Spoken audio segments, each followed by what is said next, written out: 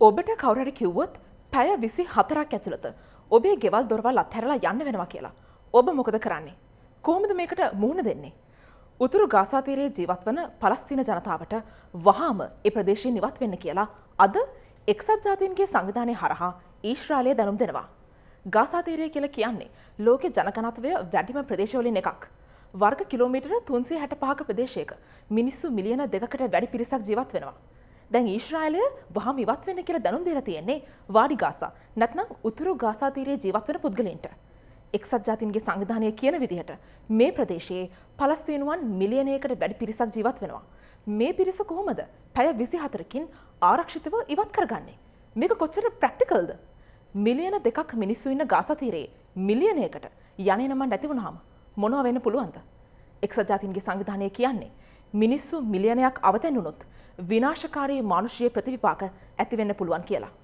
මේ නිවේදනයත් එක්ක ඊශ්‍රායිලය ගාසතීරය ආක්‍රමණය කරන්න සූදානම් වෙන බවක් පේනවා කියලා විදෙස් වාර්තාවල සඳහන් වෙනවා. කොහොම වුණත් හමා සංවිධානය කියන්නේ මේ ජනතාවට අයින් වෙන්න ඕනේ නැහැ කියලා. ඊශ්‍රාලය කරන්නේ බොරු ප්‍රචාරයක් කියලා ඔවුන් කියනවා. ඒ නිසා ඒක නොසලකා හරින්න කියලා හමා සංවිධානය මේ පලස්තීන ජනතාවට උපදෙස් දීලා තියෙනවා. මේ කොහොම වුණත් අල්ජසීරා BBC රොයිටර්ස් ඇතුළු ජාත්‍යන්තර පුවත් සේවා නිකුත් කරන වීඩියෝ සහ ඡායාරූපවලට අනුව මේ වෙනකොටත් උතුරු ගාසා තීරයේ වැසියන් තමන්ගේ නිවෙස් අත්හැරලා යන්න පටන් අරගෙන. ඔක්තෝබර් 7 වෙනිදා හමාස් සංවිධානය ඊශ්‍රායලට එල්ල කළ සංවිධානාත්මක ප්‍රහාරයත් එක්ක වසර සිය ගණනක ඉතිහාසයක් තියෙන ඊශ්‍රායල පලස්තීන යුද ගැටුම් යළිත් ආරම්භ වුණා. මේ ගැටුම් හමුවේ මේ වන විට ඊශ්‍රායල වැසියන් එක්දහස් තුන්සියකට වැඩි පිරිසක් මිය ගිහින් පලස්තීනයේ මුලිකවම ගාසාතීරයේ ජීවිතක්ෂයට පත්වලා තියෙන පිරිස එක්දහස් පන්සියකට අසන්නයි. ඒ අතුරින් හාරසය හතලි සද දෙනෙක් දරුවන්. දෙපාර්ශවයම තුවල් ලබා තියෙන පුද්ගලින් සංඛ්‍යාව දස දහසක රදිකයි. හත්වැනිද ප්‍රහාරයෙන් පස්සේ හමා සංවිධානය ඊශ්‍රායිලයේ පිරිස් ප්‍රාණ අපකරුවන් විදිහට ගාසාතීරයට අරගෙන ගියා කියලා අපි දන්නවා. මේ පිරිස් අතරට ඊශ්‍රායිල ජාතිකින් විතරක් නෙමෙයි විදේශිකයනුත් අයත් විදෙස් වාර්තාවලට අනුව මේ වෙනකොට විදේශයේ රටවල් 30ක වගේ පුද්ගලයන් 100කට වැඩි පිරිසක් මිය ගිහින් තියෙනවා.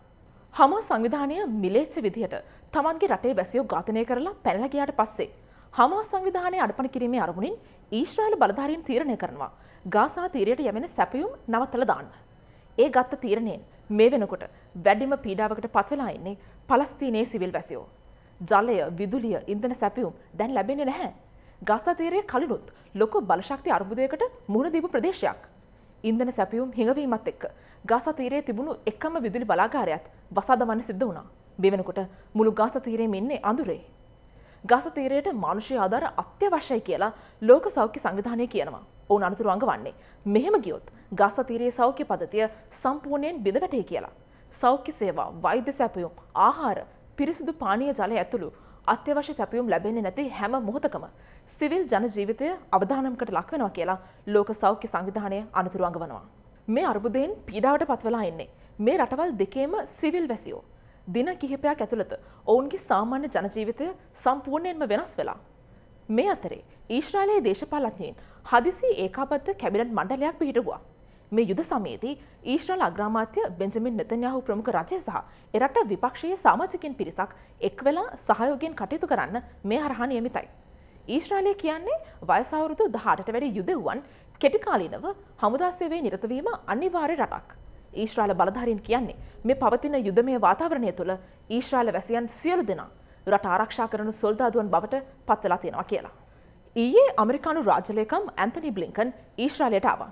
එතනදී ඔහු අග්‍රාමාත්‍ය බෙන්ජමින් නෙතන්යාහු ඇතුළු ඊශ්‍රාල බලධාරීන් මුණ ගැසී තිබුණා. එහිදී ඔහු කියා තිබුණේ අමරිකාව හැම මොහොතකම ඊශ්‍රාලය එක ඉන්නවා කියලා. මේ අතර ඔහු අද පලස්තීන ජනාධිපති මුහමඩ් අබ්බාස් මුණ ගැහිලා යුද්ධය ගැන සාකච්ඡා කරලා තියෙනවා. මේ අතරේ අමරිකානු ආරක්ෂක ලේකම් ලොයිඩ් ඔස්ටින් වගේම යුරෝපා සංගමයේ යටතේ තියෙන යුරෝපා කොමිසමේ සභාපති උර්සුලා වොන්ඩර්ලෙයින් අද ඊශ්‍රායලයට පැමිණීමට නියමිතයි කියලා විදෙස් වාර්තාවල සඳහන් වෙනවා. ඇතැම් විදෙස් රටවල් යුද්ධය සම්බන්ධයෙන් තමන්ගේ ස්ථාවරය පැහැදිලිව දක්වල තියෙනවා. අමරිකාව බ්‍රතාානය වගේ රටවල් ඊශ්‍රාලයට ආධරය වන පසුබිමක මලයස්යාව වගේ රටවල් පලස්තින වැසියන් වෙනුවෙන් පෙනී ඉන්නවා. ලෝකයේ බහුතරයක් රටවල් කියන්නේ දෙපාර්ශවයම මේ ගැටුම් වලින් වහාම ඉවත් විය යුතුයි කියලා. අපිට මේ මොහොතේ මේ යුද ගැටුම් සම්බන්ධයෙන් හැම තැනකින්ම තොරතුරු වාර්තා වෙනවා. විශේෂයෙන්ම ඔබ මේ වීඩියෝ එක බලන සමාජ මාධ්‍ය ඒ අතුරින් ප්‍රමුඛ ස්ථානයක් ගන්නවා. මේ තොරතුරු අතර පැතිරෙන වෛරී සහ දවේශ සහගත තොරතුරු පිළිබඳව යුරෝපා සංගමය ඔවුන්ගේ අවධානය යොමු කරලා. ඔවුන් මෙටා සමාගමේ නිර්මාතෘ මක් සකබර්ගෙන් වගේම ටවිට එමනත්නං එක් සමාජ මාධ්‍යජාලය හිමිකරු ඒලොන් මස්කින් මේ පිළිබඳ කරුණු විමසල තියෙනවා කියලා විදිස් වර්තාවල සඳහන් වෙනවා. ඒ අනුව පැය විසිහතරක් ඇතුළේ මේ අසත්‍යය වෛරීසාගත ප්‍රකාශ තොරතුරු පැතිරීම වලක්වන්න ෆේස්බුක් ටවිට ඇතුළු සමාජමාධ්‍ය ජාලා අරගෙන තියෙන ක්‍රියාමාර්ග මොනවද කියලා ඉදිරිපත් කරන්න ඕනි කියලා. යුරෝපා සංගමය අදාළ සමාජමාධ්‍ය ජාලාවල හිමිකරුවන්ට දැනුම් දීලා තිබුණා. ඒ වුණත් යුරෝපා සංගමය කියන්නේ තමන්ගේ අනතුරු ඇඟවීම් ටවිට එමනත්නං එක් සමාජමාධ්‍ය ජාලය ගණන් අරගෙන නැහැ කියලා. ප්‍රචණ්ඩ සහ වෛරීසාගත ප්‍රකාශ වීඩියෝ එක් සමාජමාධ්‍ය ජාලය ඉවත් කර නැහැ කියලත්. අවසන් වශයෙන් මේ හාම්ෆුල් කොන්ටෙන්ට් අයින් කරන්න කියලා ලබන දහ අටවෙනද වෙනකන් කල්දීලා තියෙනවා කියලත් යුරෝපා සංගමය දන්වල තියෙනවා. මේ හැම දෙයක්ම සිදුවුණේ දවස් හයක් ඇතුළත ඉදිරි දින කිහිප තීරණාත්මකයි. අපි බලමු මොකද වෙන්න කියලා. දිගටම රැඳ ඉන්න අපි සමකර.